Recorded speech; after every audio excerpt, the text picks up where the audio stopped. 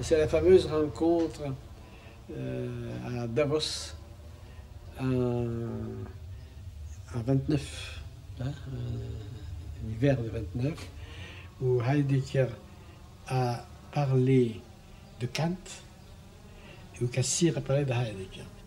Cassirer était ce qu'on appelle les néo-kantiens, très glorieux et disciple de l'interprétation moderne du Kant à partir du monde scientifique et à partir de la science qui s'est développée depuis Kant.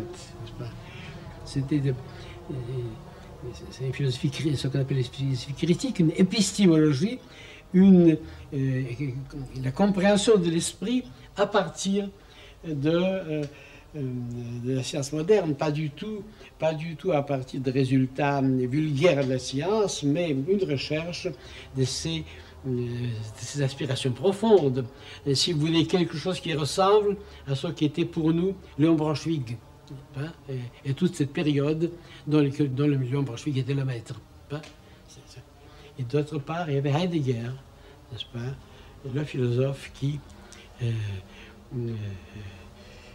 ne, trouvez pas, ne cherchez pas, ne, pensez pas que c'est dans la science exacte, dans les sciences mathématiques, que réside le commencement de l'esprit. Si vous voulez, là, la, le commencement de l'esprit, c'est une mot très vague, résiste, si vous voulez, l'intelligibilité, réside la recherche du sens. Pas? Au contraire, Heidegger le cherchait dans l'homme en tant qu'accédant à l'être, en tant que le lieu où l'être, comme il dit, l'être de l'étang, prend sens. Hein? Par conséquent, du point de vue philosophique, il y, a là une, une, toute, nouvelle voie, une radicalisation de l'interrogation, et, et, où tout ce qui est science humaine, tout ce qui est histoire, tout ce qui euh, prend une certaine priorité par rapport à la réflexion sur la science physico-mathématique. Voilà, si vous voulez, en gros, en quoi consiste l'opposition.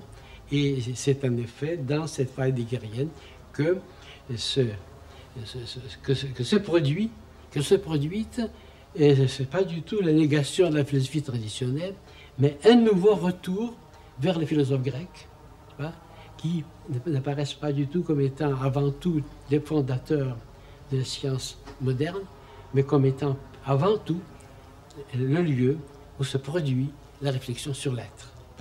je ne sais pas si c'est un peu gros ce que je vous dis là, n'est-ce pas?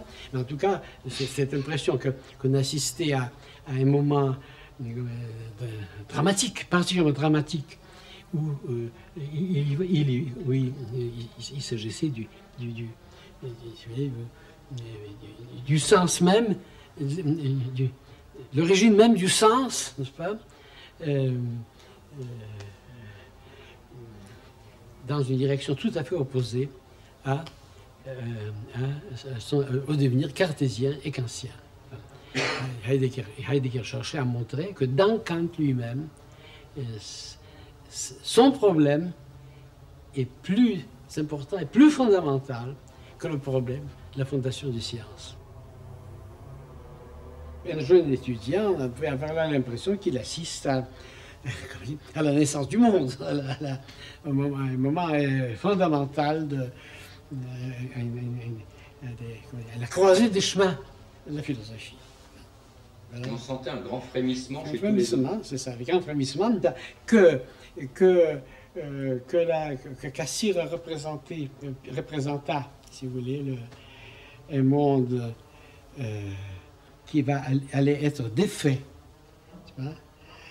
Que, euh, enfin, nous avons maintenant un certain écart, euh, Que Heidegger va annoncer un monde qui allait être bouleversé, comme vous le savez, comme il l'a été, n'est-ce pas? Ça, il fallait tout de même être un peu prophète senti.